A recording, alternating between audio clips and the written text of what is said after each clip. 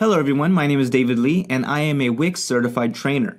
And today I would like to give you a quick tutorial on how to easily create a stunning website with Wix.com. Without further ado, let's get started.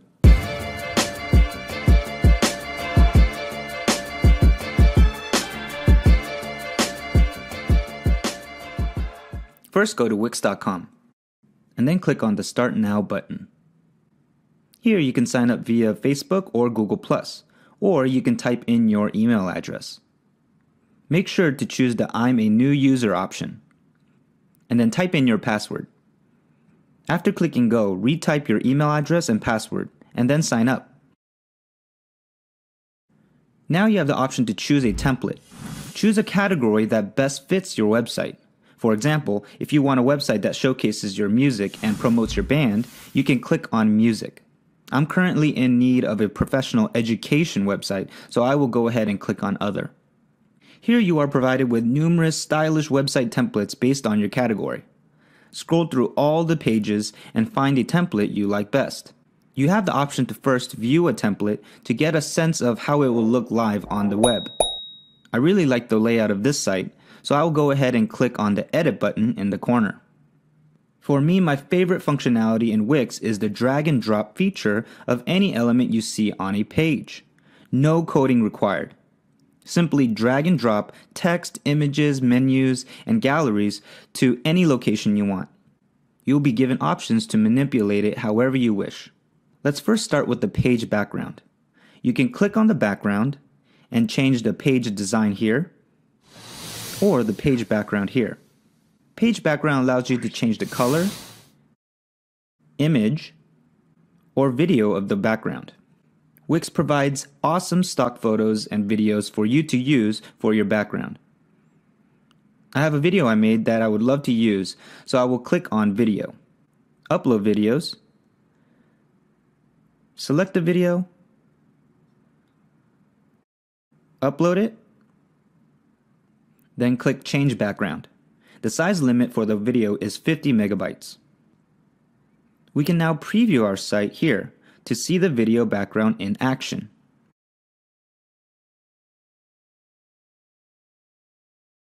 You can also find the background options in the menu bar on the left. Now I want to change the title of the website. Let me first ungroup these text boxes. Double click on the text box or click on Edit Text. You can change the font, font size, resize the text boxes using the lines and small circles.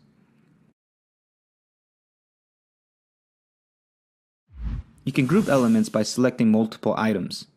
With the Mac, hold Command and click. For PCs, hold Control and click. After selecting multiple elements, the Group Elements button will appear. You can also choose to animate your elements as well.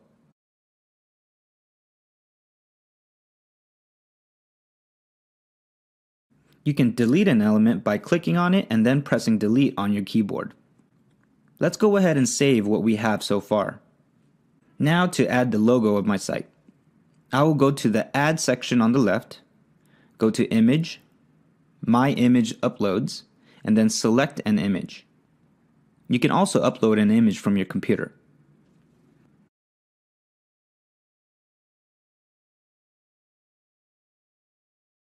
Seeing that there's some extra space here, I'm going to add a photo gallery.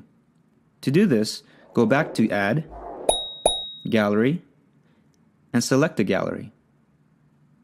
I'll add the slideshow strip and place it at the top. Click on it to change the images. And add effects. Upload or select your images, and then click Done. In settings, you have the option to autoplay and indicate the amount of seconds between each image.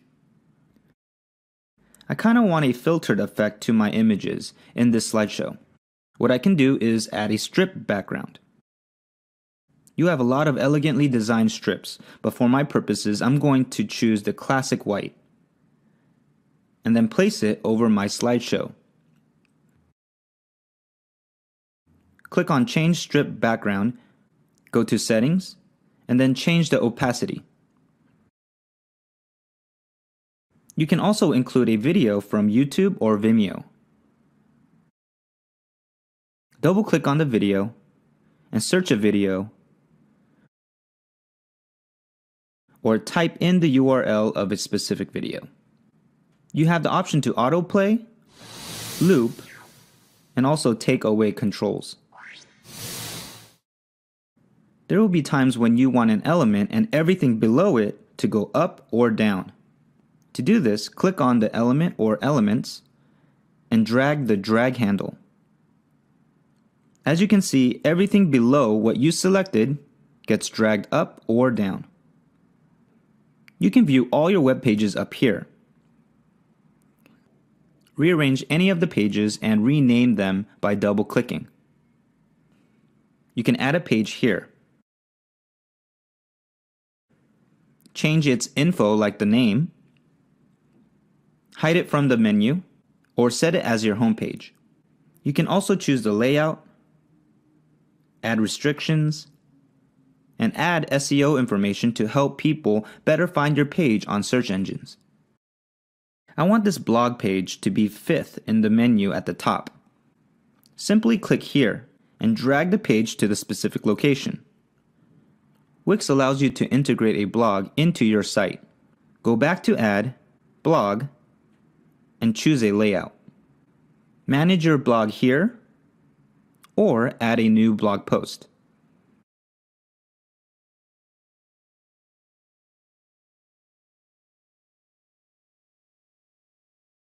If you have social media accounts for your brand or company, I recommend going to Add, Social, and then adding a social bar. Here you also have the option to include cool social media widgets and buttons. Drag the social bar into any location.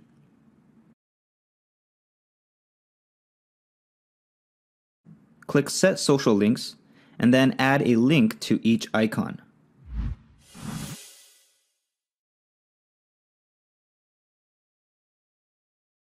You don't have to use these icons. You can upload your own if you have them on your computer. Up next is the very popular Wix App Market. Here you can insert apps that enriches your website and provides more functionalities. For example, you can add a chat feature, an online store, booking features, apps for restaurants, marketing, and even music. Right now, I'll show you how to add the Instagram app. But first I will need to decide which page I would like to place it in. I think I will place it under the work page. The crossed out I here indicates that you can't see the page in the top menu. Okay, now I'm ready to add my Instagram app. Click on social and find the app. Click on settings, then connect account, and type in your username and password. In settings, you can change the layout, additional settings, and design. Now every time you upload a picture on Instagram, it will automatically appear here. These type of widgets can be powerful tools. If your web page is really long, I recommend inserting an anchor menu like this one. Go to Add, Menu, Scroll down to Anchor menus and select one. Visitors can navigate your page with just a simple click. Wix also allows you to edit the mobile version of your site. Click here and switch to mobile view. Here you can optimize the look of your site when seen on a smartphone or tablet. Now that we are done, it is time to publish the site. Now your website is live. All this is free. You do have the option to upgrade your site here. You can connect your site to a professional domain and also remove the Wix brand ads you will find on the free version. One last thing is site history. Go to Site and Site History. Here you can go back in time to view or restore any version of your site that you've ever saved or published. So make sure you save your work frequently.